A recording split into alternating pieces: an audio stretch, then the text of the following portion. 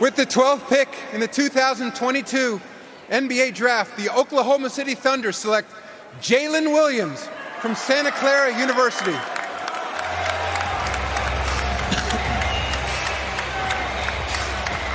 An emotional moment for Jalen Williams and his family, the junior guard out of Santa Clara.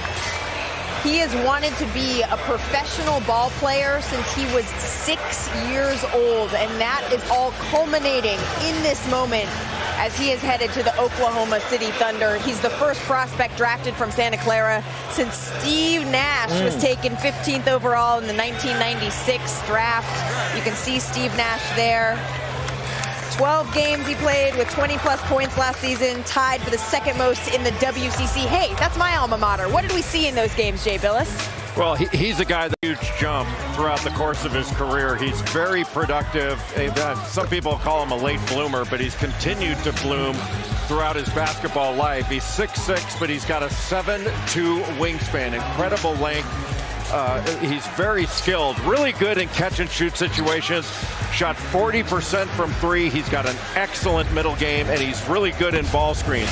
Very good pick and roll efficiency, good setting it up. He can go under, he can twist it, he can snake it, and an excellent cutter without the ball. But just a really confident player that plays at both.